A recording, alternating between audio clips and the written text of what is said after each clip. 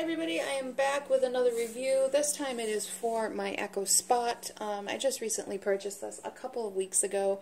I had a dot, I've had a dot for about a year, and I wanted to upgrade to the Spot so that I could have a visual screen because uh, I wanted to get a Ring doorbell, which I did get, and I have a separate review for that.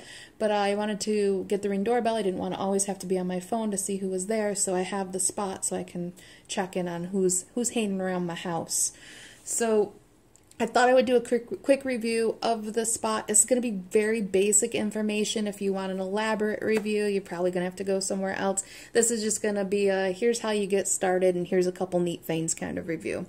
And you may notice we are joined from some past reviews. I have Nomi and Captain Caveman hanging out. They're always on the shelf.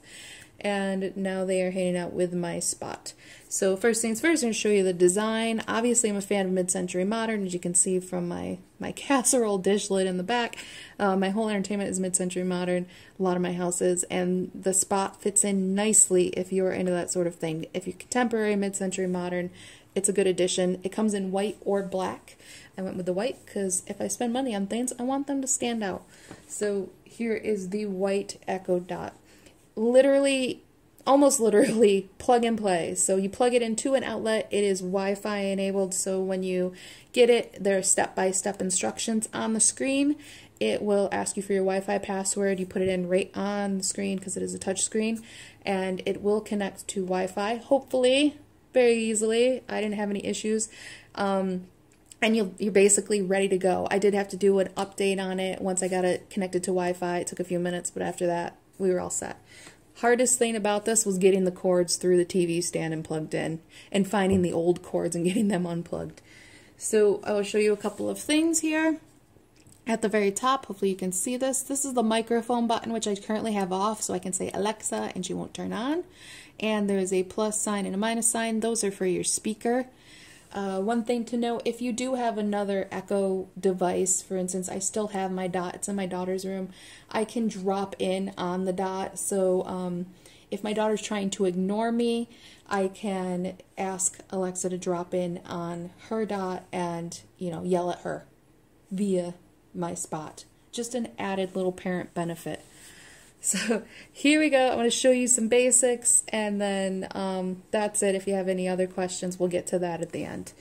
So one thing you need to know is, like I said, this is touchscreen enabled. So when you want to change something, you just swipe down and you're going to see all these different options. What are they? I don't know.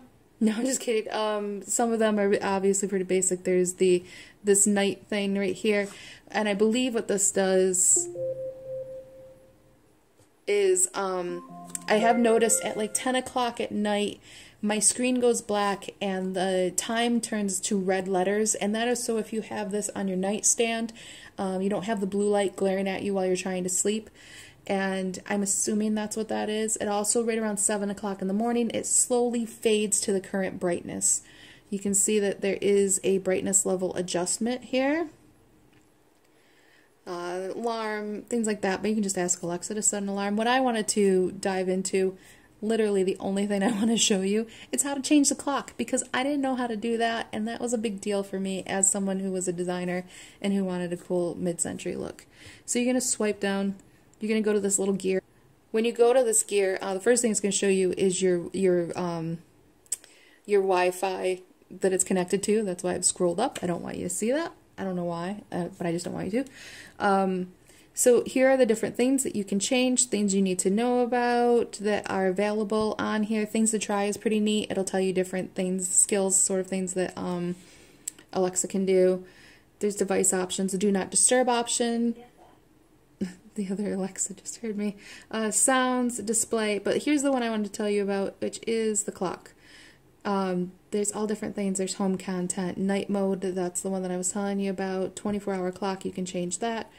I'm going to show you the clocks. There's all different kinds of clock faces. If you see 1 through 4, that means there's options you can swipe through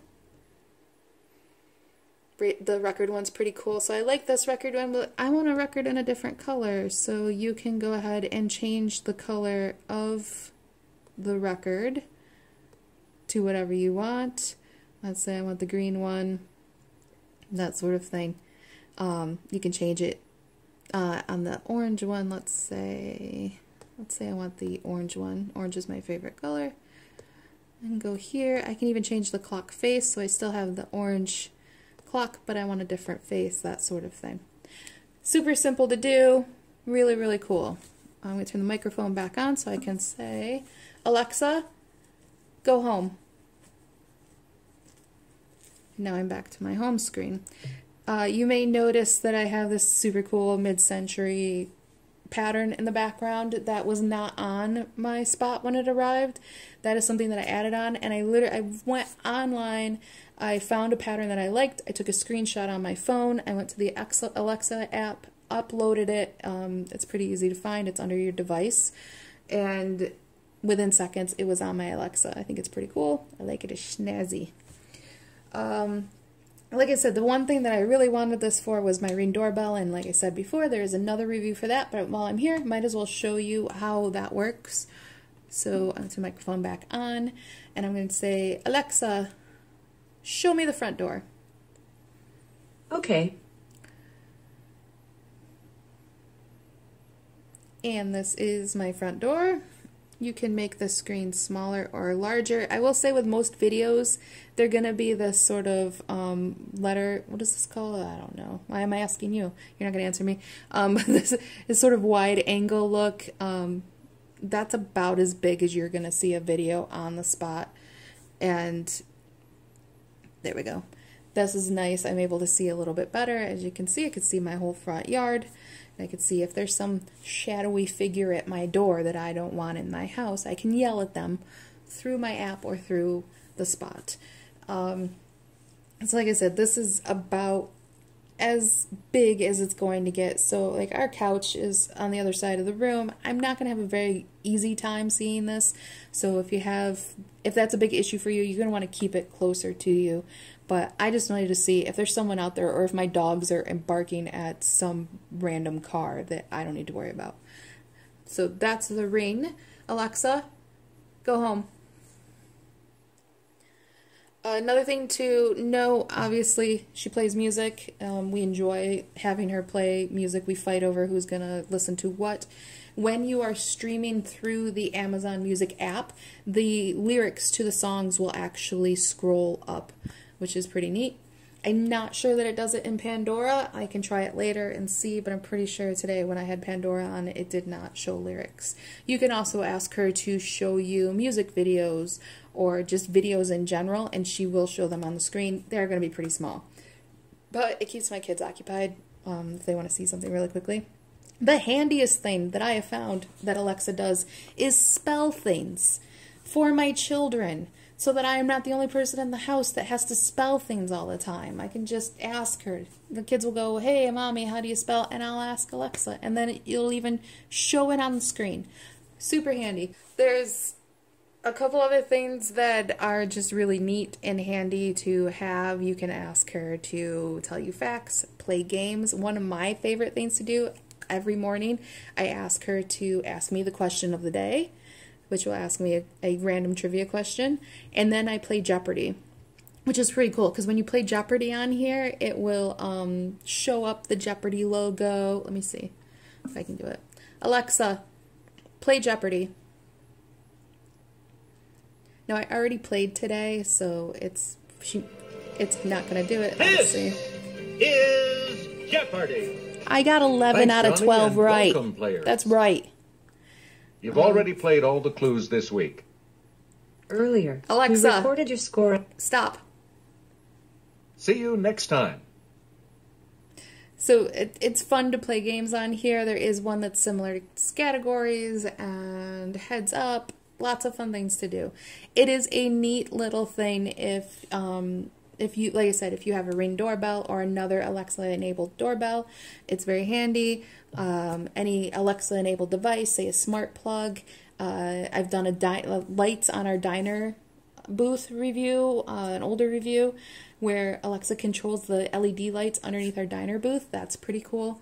So there's lots of um, different things you can do with it. I think it's very neat. I slowly getting used to it, and I'm sure I will find more and more things every single time I use it. But I think that's pretty much the basics.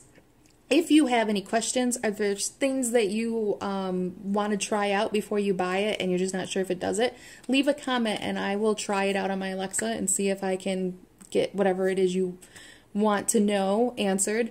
Give me a couple days if you do leave a comment. I do have kids and I don't always see my comment notifications right away, but I do answer them. I try to answer them every time I receive a comment. Um, and that's it. Like I said, if you're interested in seeing the Ring review, I have that as well. And if you have any questions, leave those. But for now, I hope that this was helpful.